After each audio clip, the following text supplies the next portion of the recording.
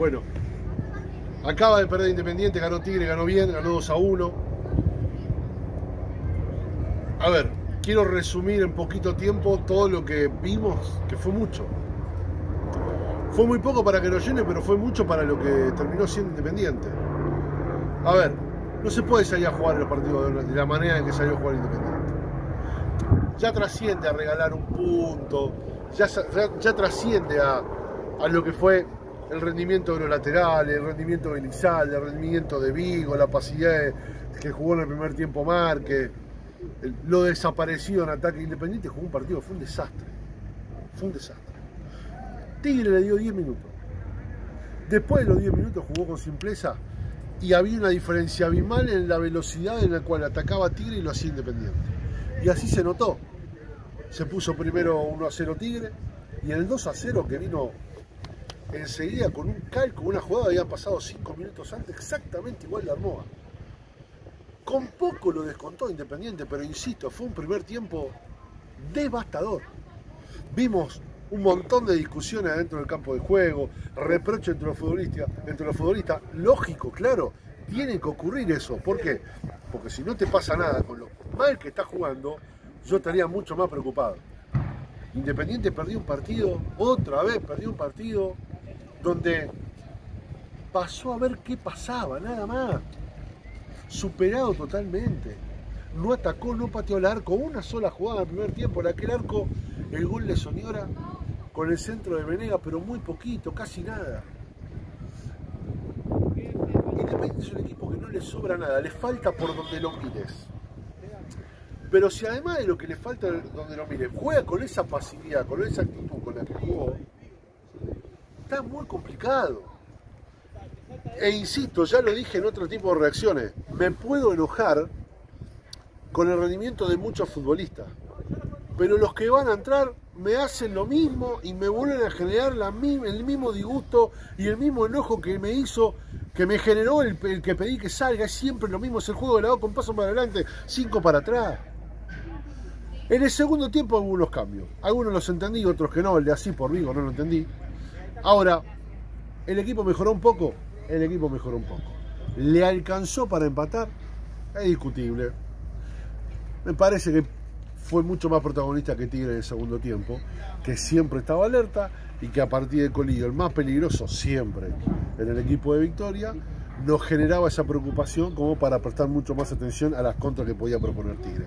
Ahora, dio mucho más de lo que esperaba Juanito Casares. Yo no esperaba que Casares juegue de esa manera. Lo hizo bien, le dio circulación. Va Batallini sale el equipo, queda ahí Soñora siendo mucho más vertical de lo que era los pases fueron mucho más comprometidos en lo que al costado y para atrás jugaba incansablemente en ese primer tiempo, que a mí en un momento me exasperó antes del gol, está en el relato. Bueno, a partir de ahí se empieza a construir un Independiente que muy tímidamente, muy tenuemente quiere acercarse al arco de Marinelli, pero nada, ahí, ahí, poquito. Dos situaciones, una situación, digo, no mucho más. Aparece la polémica, acá me voy a detener nos muestra la repetición, es penal sobre Battaglini, otro penal. No lo ubico en la centralidad del análisis porque no quiero dejar de decir los que hizo Independiente para pasar a perder. En la etapa pusimos, si jugás mal y encima te meten la mano, muy difícil. Bueno, Independiente juega mal y además le metieron la mano otra vez. Hubo penal, hubo un penal que ni siquiera se revisó. Y está claro que acá hay algo más. Yo lo dije en el video del otro día. El otro día fui muy claro. Doman, te dieron la bienvenida. Doman, todavía no fuiste invitado a la fiesta, por eso te siguen mandando el mensaje. Hoy claramente sigue pasando eso. El penal que genera discusión, que genera que el árbitro escuche lo que le dicen, jamás se revisa. Jamás se revisa el penal. Jamás se revisa. ¿Revisar para qué? Para discutir. ¿Me parece? ¿No me parece? Nada, nada. Ante la duda, para Independiente no. Y esto lo quiero ser claro, lo acabo de decir en el cierre de la transmisión, lo dije durante y lo voy a decir ahora. Sigan jodiendo con eso de que ganó el PRO en Independiente. ¿eh?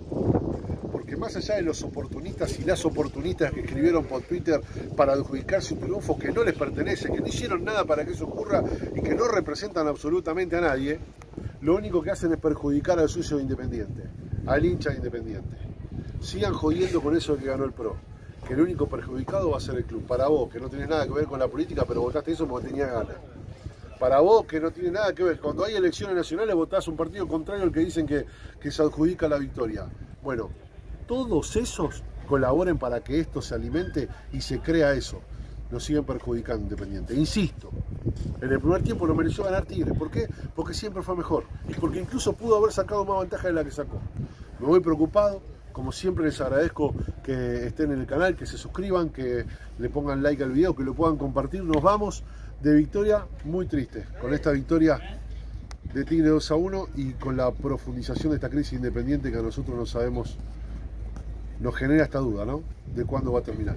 Gracias. Nos encontramos a la noche. Gracias.